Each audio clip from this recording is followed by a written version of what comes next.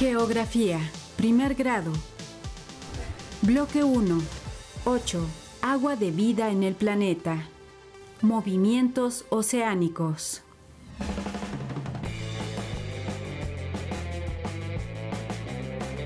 ¡Guau! ¿Qué les parece? Sí, nuestro país tiene lugares con olas ideales para surfear. A ellos llegan muchos turistas. Por cierto, Tlali, ¿qué son las olas? ¿Cómo se forman?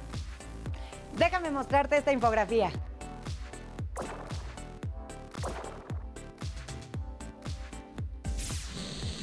Existen tres tipos de movimientos en las aguas oceánicas. Olas, mareas y corrientes marinas.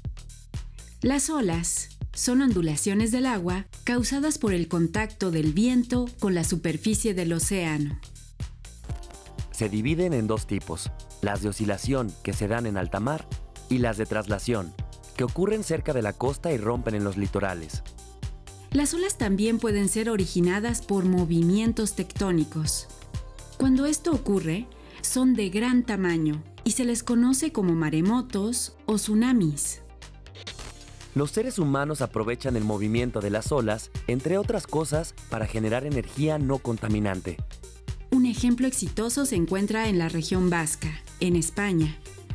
El movimiento de las mareas consiste en el ascenso y descenso del nivel del mar, debido a las fuerzas de gravedad del Sol y especialmente de la Luna, por su mayor cercanía a la Tierra.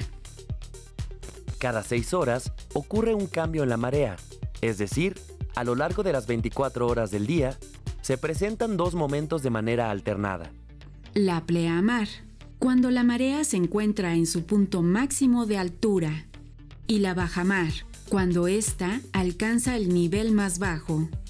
Según la posición de la Luna, el Sol y la Tierra, las mareas suelen ser más o menos pronunciadas. Las mareas vivas suceden cuando los dos astros están alineados con la Tierra. Los efectos gravitatorios se suman y provocan que el nivel del mar llegue a su máxima altura. Las mareas muertas ocurren cuando la Luna forma un ángulo recto con el Sol y la Tierra. Esto contrarresta las fuerzas de gravedad y ocasiona que el mar descienda hasta su mínimo nivel. Algunas de las mareas más altas del mundo se presentan en la bahía de Mont Saint-Michel, en el estuario de la Ronce y en la bahía de Fondi. Las mareas son utilizadas por centrales mareomotrices para generar energía eléctrica. Y durante las mareas vivas, aumenta la actividad de los peces, condición que es favorable para la pesca. El movimiento de las corrientes marinas, masas de agua que se desplazan en una dirección fija, como ríos dentro de los océanos, se produce por diferencias de temperatura, densidad y salinidad en las aguas, y por el movimiento de rotación de la Tierra. Las corrientes pueden ser cálidas o frías y forman un circuito equilibrado. Las cálidas provienen de las zonas ecuatoriales y van hacia los polos, desplazándose por la parte superior de los océanos. Al llegar a las regiones polares, se enfrían y se hacen más densas. Esto hace que se hundan y se vuelvan corrientes frías con dirección a las zonas ecuatoriales. Las corrientes frías favorecen la pesca, pues contienen abundantes nutrientes que atraen grandes bancos de peces.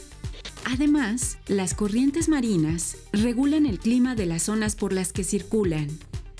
Las cálidas elevan la temperatura de las regiones frías, ubicadas en las altitudes altas cercanas a los polos. Las frías inhiben la evaporación de las aguas oceánicas y por ende las lluvias, lo que origina la presencia de zonas áridas. Entonces las olas no solo sirven para surfear, también pueden aprovecharse para generar energía eléctrica, al igual que las mareas.